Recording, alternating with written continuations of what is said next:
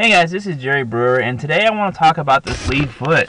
There's been a lot of chatter about it going around, you know, um, a lot of discussion about it, which is really good. Um, I read a really good post by Derek, um, Saber Coach, you know, talking about how guys let the foot go, you know, don't be so confined to the landing close, and that's really cool. I also want to add to this and give it some, some thoughts on uh, on what I see and, and what I think hitters should do to, to see the most improvement.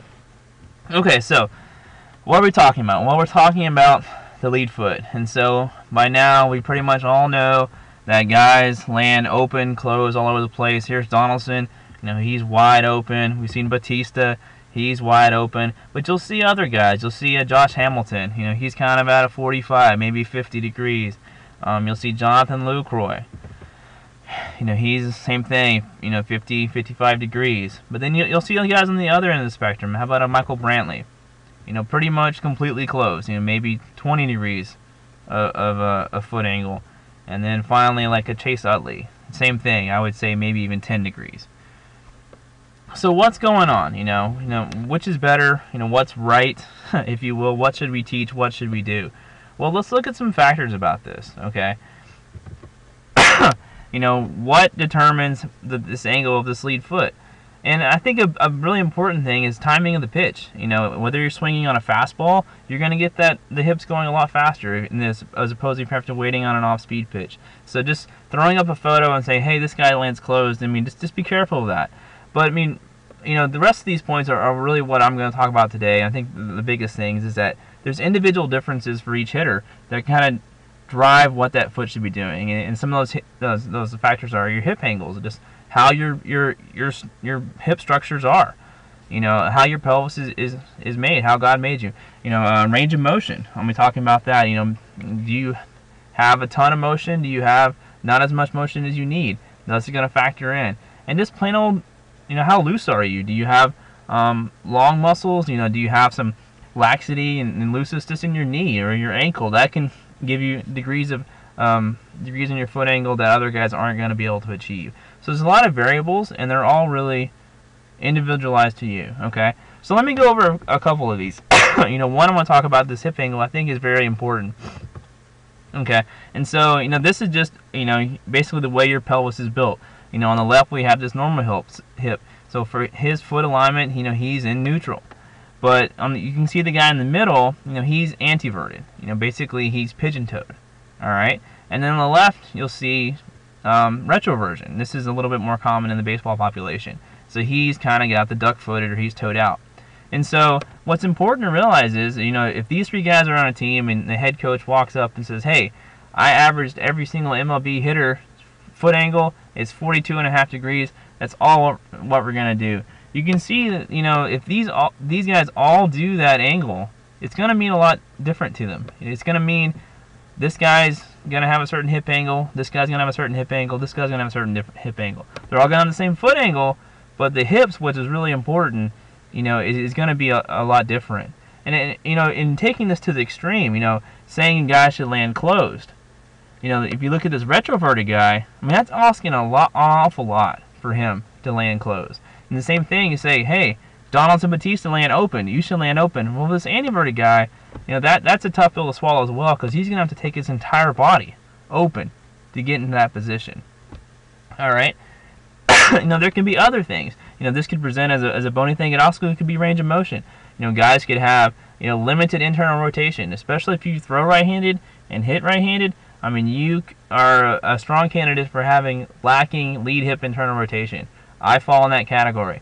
You know, for a long time I was trying to correct something in my swing, trying to figure this out. To said, hey, I have uh, you know a lack of internal rotation. A lot of guys do. Okay, so all right, I just went through a lot of things here. We said, hey, the foot is not really a great metric. You know, uh, I don't even. It's not even really something I look at. So what do we want to look at? You know, what, what's important? And instead of just looking at heel plant, why don't we back it up a couple frames to right when the foot's about to come down? Okay, and what we see is Donaldson's in this position where the front leg is turned in a little bit. You know, he's he's got a little bit of coil if we were, his hips are closed, and he's in a really strong position. All right, and from here, he's going to open that leg quite a bit and get into a, a really open angle. Um, some time back, I asked Donaldson over Twitter about this. You know, what are you trying to do in this? In this, he said, I'm trying to open my front leg as much as possible as my foot is coming down. You know, not while my foot is striding way up in the air, but as my foot is coming down, I'm going to try to open that leg as much as possible. Okay? And I think that's a really good idea. I mean, that's a really good cue. It's a really good thing for Donaldson to think about. You know, looking at Donaldson, I'm gonna kind of internet diagnose him. I'd say he's more of a loose guy. I think he's he falls more on the mobile on the mobile side of the spectrum. You know, I would say that he needs to open this foot this much to kind of keep his body taut. You know, he he kind of is a free mover. So he needs to really get this leg going to kind of bring the rest of his body with him. All right. You know, say how do you know that, Jerry? Well, I mean, looking at his his contact point, he gets you know quite a bit of extension in that knee. So I'm kind of guessing this, but just watching him play for a while, you can kind of tell he's a, he's a free mover. So you know, if, if you were to say, hey Donaldson, man, you need you need to square up this front foot, that wouldn't be a good thing for him. I think that would be a lim- that would limit his performance. All right. This is an important position I want to point out. Okay, so let's hop over to Utley.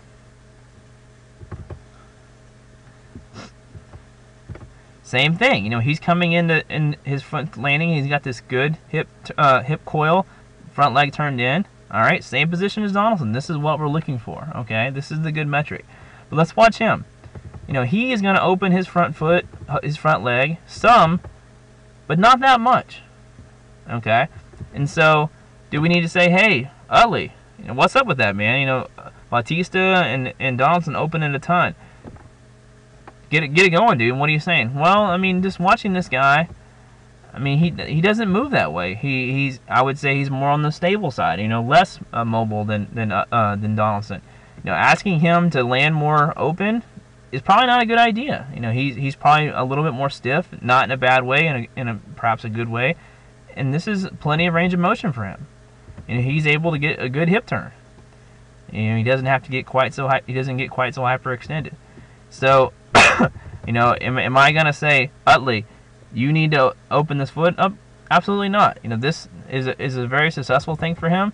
He's achieved a lot of success, so, you know, I'm not going to ask him to do something that his body doesn't need to do and what is not optimal for his body. Okay?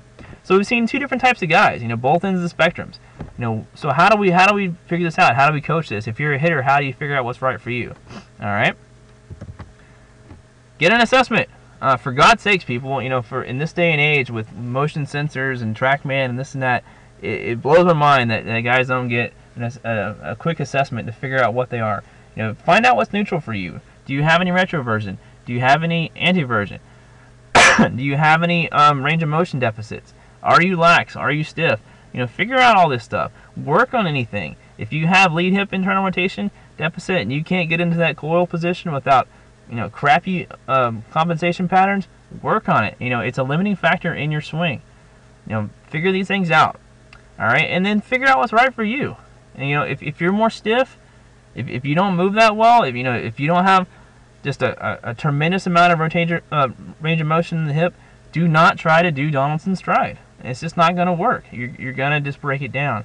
Um, same thing. You know, even if he's your favorite hitter, you know, there's this there's this really powerful movement right now to model your swing after an MLB hitter. And I think that's a great thing. I do it all the time. But for this one, you have to be very, very careful. You know, if you're a guy who moves like Utley, who doesn't have a lot of uh, range of motion, I'm not saying he doesn't, I'm just speculating for your sake. If you don't have a lot of range of motion, you try to do Donaldson stride, just because he's your favorite hitter or just because he's helping us on Twitter, I mean, that's just not going to work. So, this one is really N equals 1. Figuring out, figure out what your body does, figure out how you move, work on any deficiencies, and incorporate the right stride for you. Alright? It's really, really important. I think that's what I'm trying to get across is don't just look at your foot angle and say, oh, my foot angle is 55 and his is, you know, 85 or whatever. I don't even know. I don't even look at foot angles. You know, figure out what's best for you and incorporate that in your swing. Work on any deficiencies. It'll improve your swing without even hitting balls. Alright? so that's what I got, guys. Figure out what's going on and incorporate it, improve. And uh, don't worry so much about that front foot.